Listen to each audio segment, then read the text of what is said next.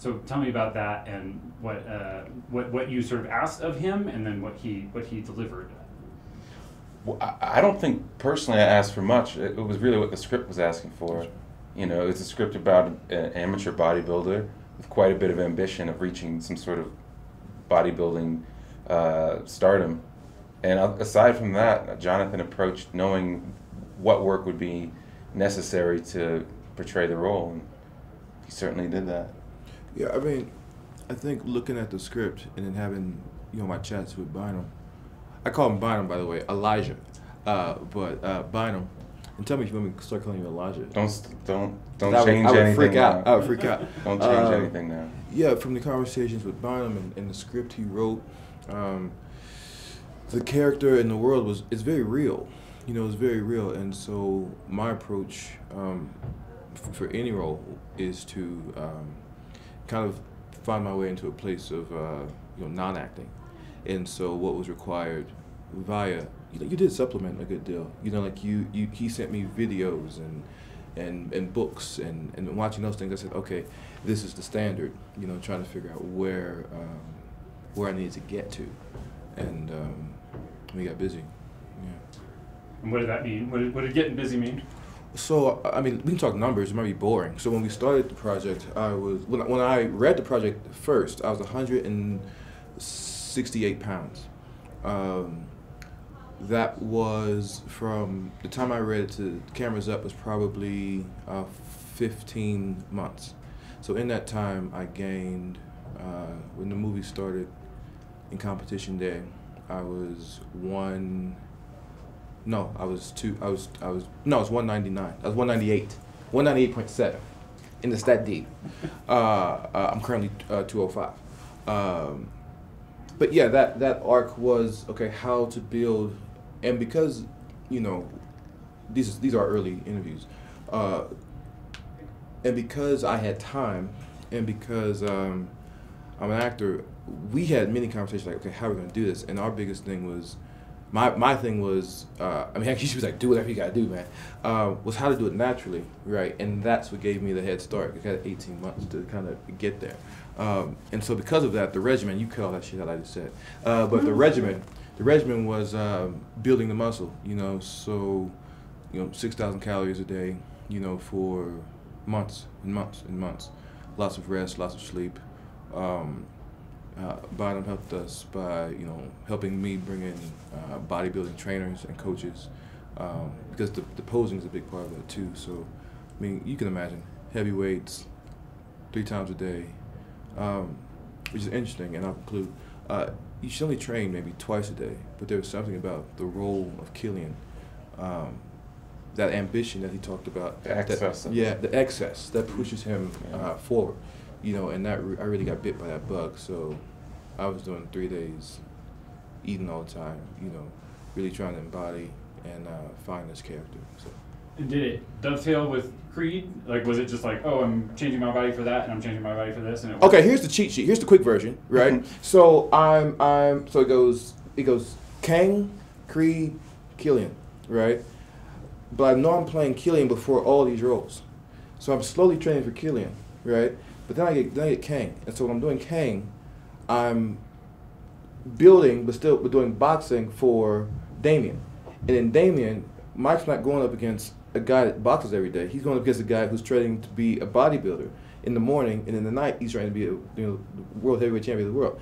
So uh, yeah, so Killian is being trained while I'm shooting Creed, and then and then you hit that gear when it's all Killian, all bodybuilder.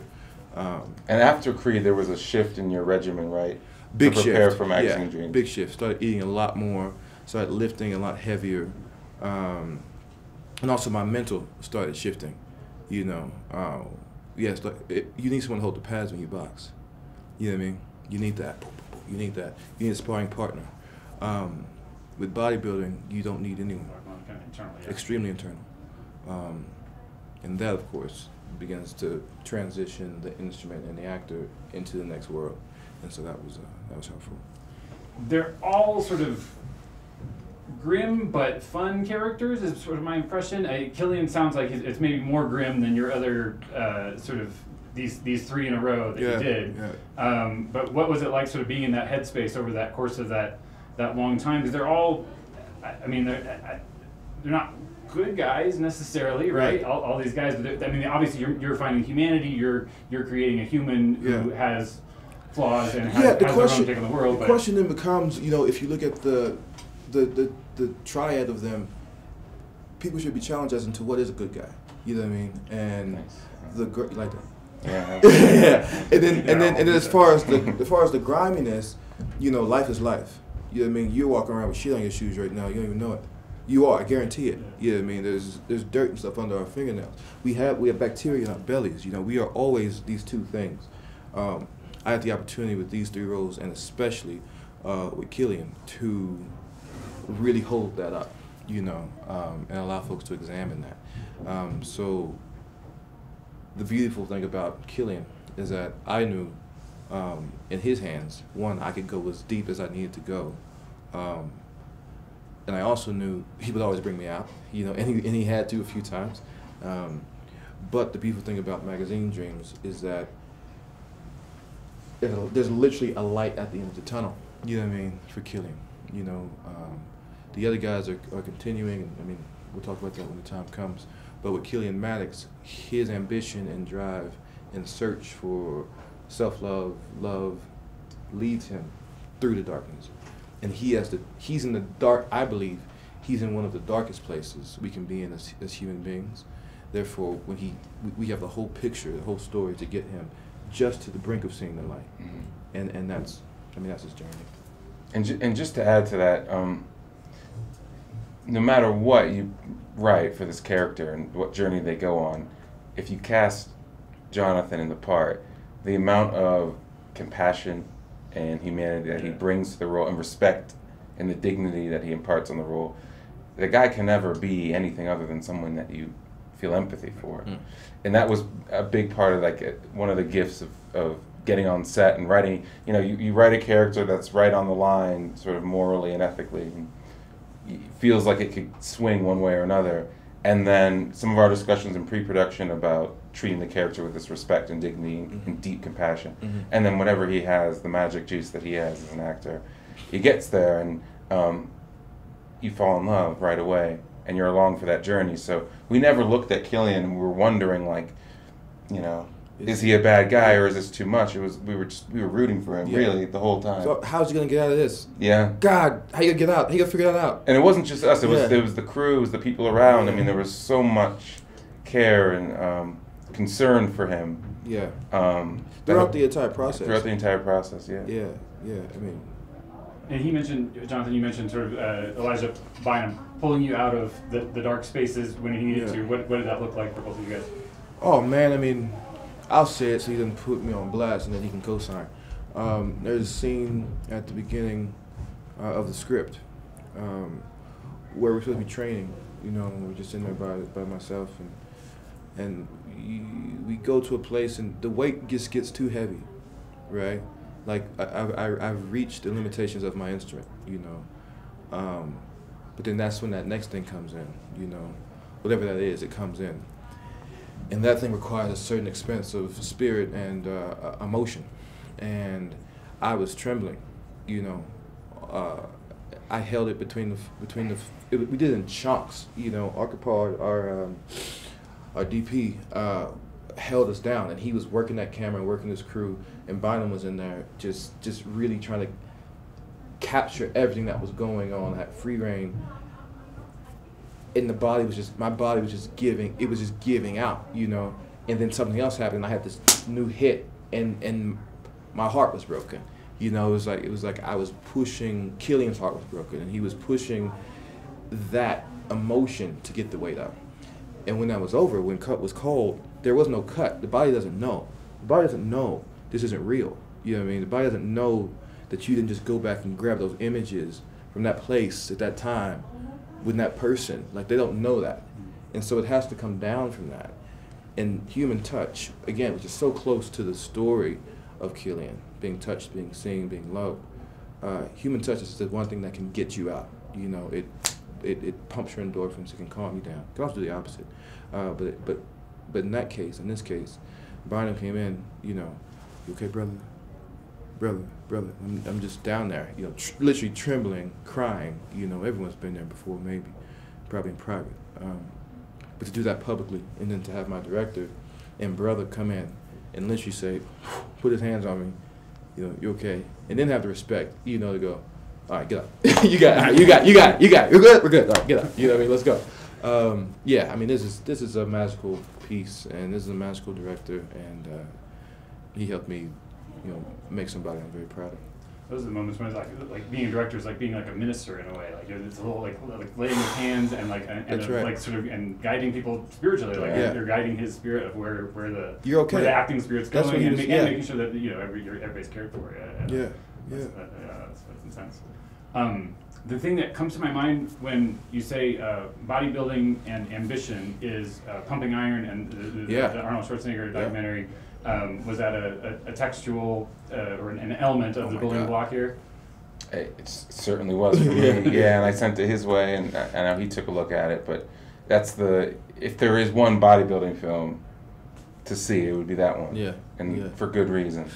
Uh, and we stole little bits here and there out of it. Yeah. Um, really to pay homage to to that you know the golden era bodybuilding, what those guys were doing. Yeah, yeah, They paved the way for everyone who came after them. Yeah. Yeah. It's a great resource, that piece, you know, and a, and a great uh, character study in addition to like the culture of bodybuilding. The culture of bodybuilding and fitness at large is probably one of the most uh, romantic and beautiful and probably ancient um, industries that exist. You know, the body is uh, is the first part of technology. You know, it's the Mhm. first thing that we begin to use to help something. You know, our livelihood. You know, so to watch those men and, and in that case, with men, and there's other documentaries with women, to watch those guys and gals kind of work it work out their humanity through steel, through iron, is uh, it's crazy. yeah. Um, and is your uh, cap today an homage to your previous time uh, here at Sundance a little bit? It's an homage to my life. Yeah, yeah, yeah, yeah. yeah. Okay. It's the red cap. Yeah, it's nice to be back. Yeah, last Black Man in San Francisco. Now Magazine Dreams. I think that's a pretty, pretty good duo. Um, and then the final question, I guess, the, that idea of the ambition of the character, um, as you sort of talked about in your director's statement and, and just now, um, uh, how much do you sort of share this sort of like ambition? Because feel, you feel like a very you're an ambitious ambitious actor, but maybe not. I don't know. Like it's hard to, it's hard to read that part of you because you're. I mean, you, you, the trajectory has been like incredible. It's been- yeah, it's been but, 33 but- years. but- it, like it's like it's like overnight and it's not right. Like Yeah. both. And uh, is that is that ambition? Something you recognize instantly, or is it, or is it just like I've been doing my craft, I've been working, it, things come when they come? I guess. It's interesting. It's interesting uh, because a bodybuilder builds his body by lift, by lifting heavy weights. If you lift heavy weights, you get bigger, you get faster results. It also hurts more. You also can't do it all the time. You have to take some breaks in between. Um, I would, in this moment, uh, compare my career uh, to that. I haven't done as many projects as a lot of guys my age. but I've I've lifted some heavy weight. You know what I mean? Um, Killian is a heavy is a heavy thing to lift, and and there's repercussions, you know, and there's consequences to those things, and you can call that a uh, pretty cool trajectory, um, but it's kind of physics, isn't it? And so does that mean you- you're ready for a break? Is that what that? No, that's the other thing. I mean, I mean we're, gonna, we're, we're, we're not gonna make this like uh, uh, like inside the actor studio, but it is it is kind of like um, it's what I do, man. You know, what I mean, I think about it all the time. You know, um, my cheat sheet I think is that it's acting in our industry is more of a lifestyle for me than it is a job. I never feel like I'm working.